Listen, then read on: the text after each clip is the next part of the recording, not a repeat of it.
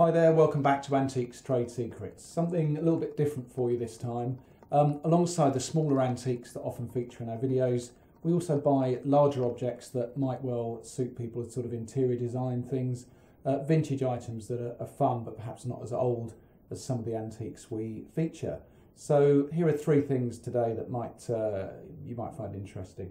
This is a 1930s uh, writing uh, kind of compendium. So you've got your individual material lined pockets there. There's a nice leather calendar, which is quite cool with the days, uh, writing slope, and space for your bits and pieces in there. This was a charity shop find, picked it up for a fiver, and I'd hope to get sort of 30 to 40 pounds uh, for that. Uh, in the middle here, I mean, this has got no real age to it, but it's fun. I sell a lot of clocks, pick them up maybe for a fiver, aim for about 20.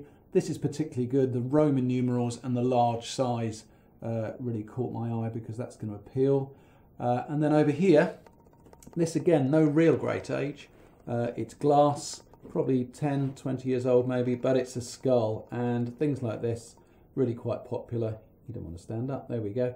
And they often sell quite well. And it also look quite good as a display item in our uh, shelves we rent in the antique centre. So we thought he was kind of cool, nice detail. He's not too cheap. He's got a bit of uh, bit of quality to him. So there you go, just a quick video on the larger uh, items we sometimes buy alongside the, the furniture that you've seen before. These kind of things do sell, clocks, mirrors as well, another great uh, thing to look out for, particularly if they've got an interesting frame or shape uh, to them. So do check back soon, please subscribe.